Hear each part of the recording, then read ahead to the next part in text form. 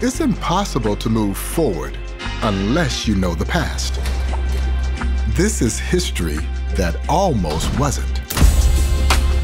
The Negro Leagues were a chapter of American history that could have disappeared if not for black-owned newspapers across the country.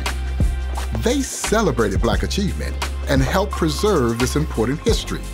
The stories and stats, headlines and heroics of icons and legends, leaders and barrier breakers. Printed history.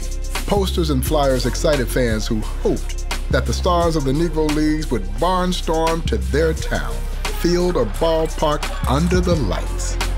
And with the help of pioneering black writers who also faced discrimination and hardship, these stories of triumph and conquest, pride and determination never faded. A voice for the voiceless, pressed in ink. This is a celebration that goes beyond baseball. These are the legends. These are their stories. This is MLB The Show 24, the Negro Leagues edition